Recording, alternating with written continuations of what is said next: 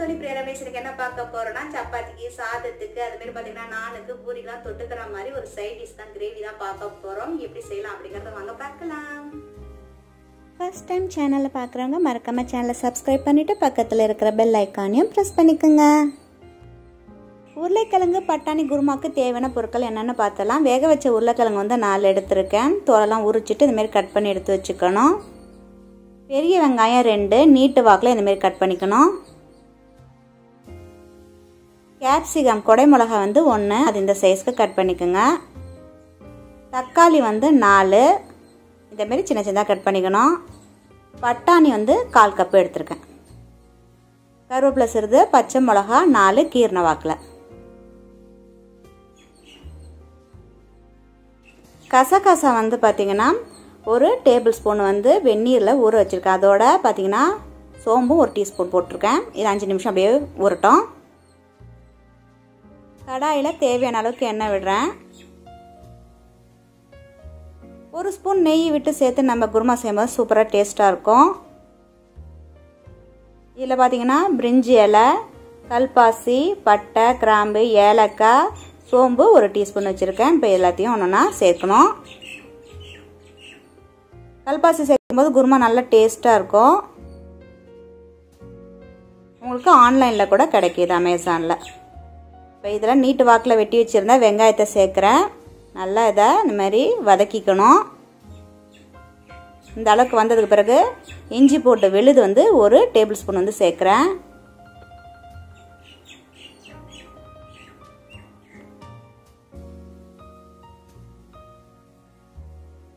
இப்போ இதில் கேப்சிகம் தக்காளி அதே மாதிரி பார்த்தீங்கன்னா உருளைக்கிழங்கு எல்லாத்தையும் சேர்த்துடலாம்.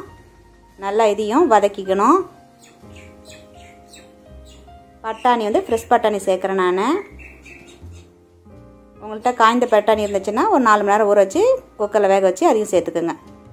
இப்போ இதில் மட்டன் மசாலா வந்து கடைசியாக தான் சேர்க்க போகிறேன் அதனால் தனியாக எடுத்து வச்சிடலாம். இதில் வந்து பார்த்திங்கன்னா மிளகாத்தூள் தனியாத்தூள் மஞ்சத்தூள் உப்புத்தூள் இருக்குது இது எல்லாத்தையும் சேர்த்து நல்லா பச்சை வாசனை போகிற வரைக்கும் நல்லா எல்லாத்தையும் வதக்கிக்கணும்.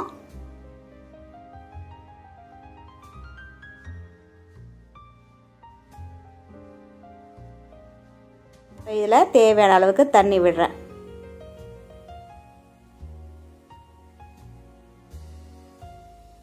ஒரு பத்து நிமிஷம் கழித்து பார்க்கலாம் இந்த அளவுக்கு வெந்தாச்சு. இதில் வந்து பார்த்திங்கன்னா தேங்காய் விழுது சேர்க்குறது. அதாவது தேங்காய் ஒரு நாலு டேபிள் ஸ்பூன் முன்னாடியே நம்ம வந்து கசகசா சோம்பலாம் ஊற வச்சுருந்தோம்னா அது எல்லாத்தையும் சேர்த்து நல்லா பேஸ்ட் ஆக்கிட்டேன். அதை இதில் சேர்த்து இப்போ நல்லா கலந்துக்கணும் கடைசியாக தான் அதை சேர்க்கணும்.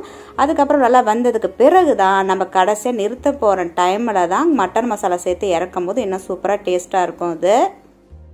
நல்லா தான் அதுமாரி கலந்து விட்டுக்கோங்க. கொத்தமல்லியை சேர்த்தாச்சு.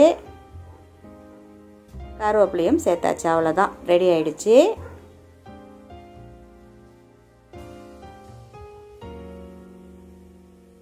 இப்போ சூப்பராக ரெடி ஆகிடுச்சு குருமா இது எதுக்கெல்லாம் ரொம்ப நல்லா இருக்குன்னா ஒயிட் ரைஸ் அதாவது சாதத்துக்கு பலோ ரைஸ்க்கு சப்பாத்திக்கு ஜீரா ரைஸ்க்கு பூரிக்கு இடியப்பம் மாப்பம் பரோட்டாக்கு எல்லாமே செம சூப்பராக டேஸ்ட்டாக இருக்கும் இது.